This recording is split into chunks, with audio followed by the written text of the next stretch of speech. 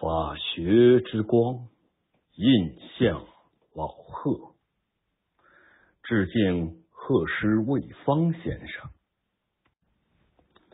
许多年来，我们大家和这片土地上的人们，都已经习惯了贺师卫方先生的存在。某种意义上，先生的名字已经成为常态性的。正义存在，而常态的守正正是魏方现象。二零一九年开年之初，加拿大人谢伦伯格被判死刑案被魏方先生关注。他于案件判决后，连续数天发表评论，言辞激烈，直指该案审判严重违反上诉不加刑的。刑事司法原则，以及该案在时间上与华为孟晚舟事件某种蹊跷的契合。先生言论见指之处是司法被赤裸裸政治化，而不是相反。先生痛心疾首之处是该事件再一次对本已脆弱的司法独立与司法公信力无可挽回的伤害。先生就谢伦伯格案的相关评论，旋即被国内外媒体和自媒体广泛传播。在官方和所谓主流媒体歇斯底里、无原则点赞的时空里，先生局势越发紧张了的理性发声，是寒冬里的一簇星火，是混沌中的一股清流，在法治不彰道。愈发令人沮丧的时候，先生守卫方正之举，令人不至陷绝望之地。先生关注谢伦伯格案，丝毫不令人诧异。每一个关心生民疾苦、关注中国法治的有识之士，都习惯于先生对于人权不利、法治不彰的习惯性意义。而先生与聂树斌案持久而温情的姻缘，更是被传为当代中国法治大师录的一段佳话。二零一七年一月十二日，贺一方的博客发表了关于聂树斌案的《聂树斌案之国家赔偿问题》文章，而这已经是先生自二零零七年九月三日在自己博客上。发文关注聂树斌案的第十六篇博文，时间跨度近十年，加上先生在其他场合、其他媒体与其他途径关注聂树斌案的文章言论已达四十篇次以上。聂树斌案浮出水面之后十几年，先生就聂树斌案文章的题目都足以谋篇成文。从探寻聂树斌案真相、公开聂树斌案材料、一二审判决书，继而就致河北高院长高勇先生的一封信，在不停息关于聂树斌案的对话，他发出关于尽快启动聂树斌案再审程序的呼吁书。先生身在石河子，心忧石家庄的长明。谁来给聂树斌们洗冤？当聂树斌案翻案渺茫之时，早生华发的老贺，聂树斌案最高法院不可再推诿。十几年来，先生感叹着：我为什么揪住聂树斌案不放？思考的是聂树斌案迟到的正义问题。在秉承先辈胡适先生“变冤谤白为第一天”里的理念之下，关注聂树斌案的第一步进展，包括聂树斌案的国家赔偿问题。聂树斌案只是这些年来先生关注的典型案件之一。其实那些年那些事关卑微个体命运。又与这个国家与民族在制度建构与法治推动关系千万重的一个个案件，都曾与贺卫方的名字不无关系。他们是孙志刚案、刘墉案、张金柱案、李昌奎案、许霆案、何鹏案、赵作海案、胡格吉勒图案、邓玉娇案、李庄案、刘彦文案，以及晚近时间的加拿大人。谢伦伯格案，其实这个名字还可以更长。二零零三年五月二十三日，先生与沈奎等五位教授就孙志刚案联名上书全国人大常委会，提请启动特别调查程序。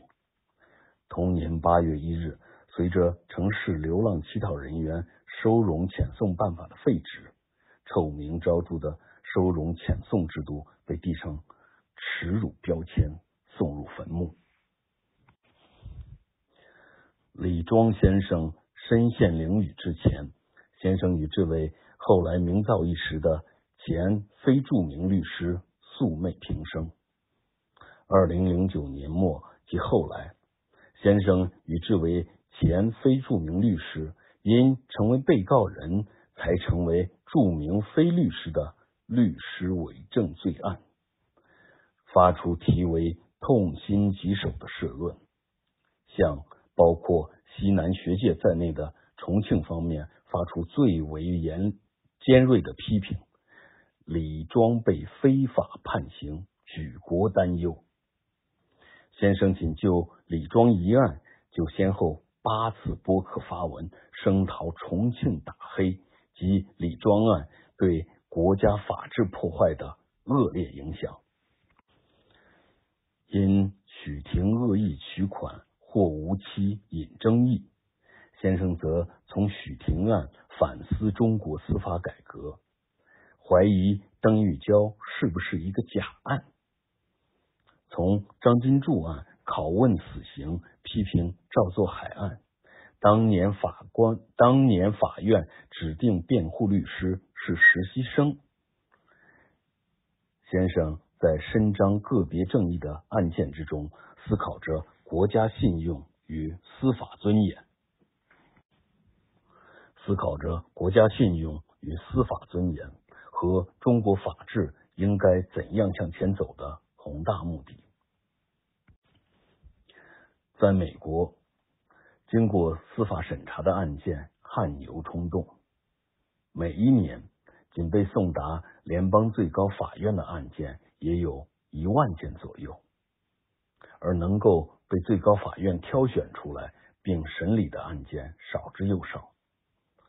只有那些具有普遍性和根本性，或者对公民权利和国家长治久安有重大影响的案件，才入得了。九位老人的法眼，历史上经联邦最高法院司法审查过的案件，很多成为对美国社会生活，甚至是对全人类进步影响深远的经典案例。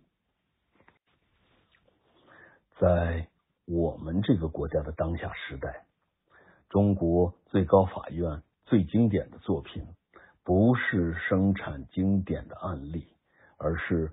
丢失精选的案卷，为时代慧眼识案，产生理性的揪住普世性的典型案例不放的，为聂树斌们辩冤傍白的是贺伟方和贺伟方们。贺石卫方先生是一流的法学家，而先生成为现象。最主要则为他是最具时代担当的一流公共知识分子。人们可以从先生关注的公共事件感受自由与正义的力量，也可以从先生激情四溢、充满理性的演讲中享受思想的盛宴，更能从先生隽永流畅的文字之中接受逻辑的洗礼。一九九八年，《南方周末》刊发贺卫方先生署名文章《复转军人进法院》，一文激起千层浪。先生从司法的原理与理念、法官职业的专业性等方面，言之成理论证了复转军人当法官的弊端与危害。先生以反对复转军人进法院，史无前例的向全国人全面而正面、生动而动魄的上了一堂现代法治思想课。从此，贺卫方与南方周末成为中国改革开放以来公共讨论的时代符号。先生也因此成为中国公共知识分子的形象代言人。中国青年杂志随后评选先生为将影响二十一世纪中国的一百个青年人之一。贺氏卫方先生有中国大学最温和、儒雅、谦逊的教授之美誉。对于事关公序良俗和社群福祉的公共事件，他始终保持着持久而旺盛的公共使命。先生主张法官精英化，倡导律师职业化，反对法院的人民化。熟悉先生的人都折服于他的行为示范、宽以待人的儒者风范，也晓得先生眼里不容原则性问题之微尘。武汉大学法学院周业中论文抄袭事件发生后，先生公开自己的批评观点。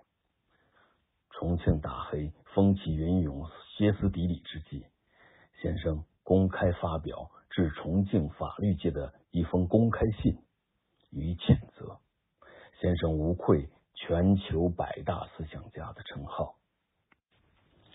曾几何，中国大学校园人气最旺、没有之一的讲坛，非贺氏卫方先生莫属。新千年之初的头十几年，数代大学生读着贺卫方的博文，听着贺卫方的讲座。自由的基因得以激活，思辨的闸门徐展打开。那时候，大江南北，湘江内外，先生几乎去过所有还说得过去的大学。而在过不去的时间，先生的公共演讲依旧不断。波多马克河畔，他激扬文字。博洛尼亚法学家玄关下，他追思人类法学之传统；贝卡利亚故乡的草坪上，他坐而论道；波茨坦磨坊风车旁，他娓娓讲述德意志帝国动人的法治故事。他举杯论英雄，他言谈天地间。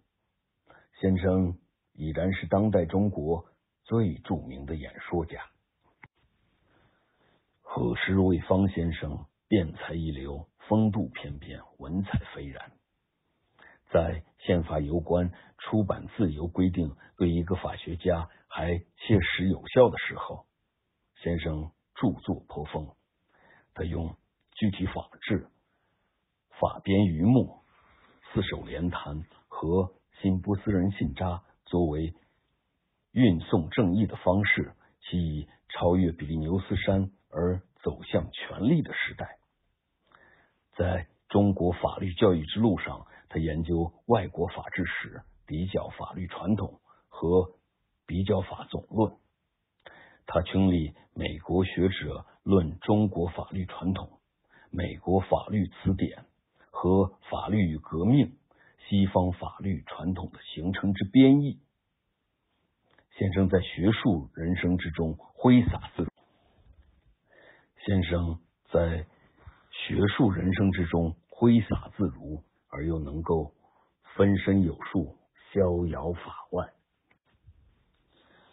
截至二零一七年一月十六日十时四十五分，方兴未艾的博客时代，先生的贺卫方博客共发表论文九百四十五篇次，访问量。两千三百四十九万三千七百七十八人次，粉丝一百八十五万七千五百九十七人，微博四千六百三十一条的先生新浪微博，于二零一七年三月十七日十七时四十五分已不再微动。一七八八年，一本叫做《联邦党人文集》的小册子出版，一时洛阳纸贵。一八三五年，法国学者托克维尔论美国的民主在巴黎出版，欧洲的美国热一时兴起。人类历史上这些不同时期彪炳史册的短篇文字，为人类的文明进步贡献卓越。二十一世纪中国对当代中国青年思想进步产生重要影响的先生的文字位列重要地位，我们姑且已称为《魏方论中国》。如今，尽管先生的名字成为这个时代重要的敏感词，而精悍入里如先生之短篇文字。却以无与伦比的生命力，活跃于全世界的网络空间。魏方论中国，对当代青年和当代中国未来的正面影响，将超乎先生自己和我们的想象，持久垂远。历史学家杨安先生赞其曰：“如在文明开化之国度，魏方先生。”乃经世总统国家之大才。台湾大学熊秉元教授评价先生说：“他是中国法学界和社会的稀有动物，极其珍贵。”对于先生类似的评价不胜枚举。而在这新的或为惊心动魄的二零一九年及未来，让我们一起爱护我们。稀有且极其珍贵的贺氏卫方先生吧。毕竟，在骂先生才是主流的时代，先生在，希望就在。二零一九年一月二十四日。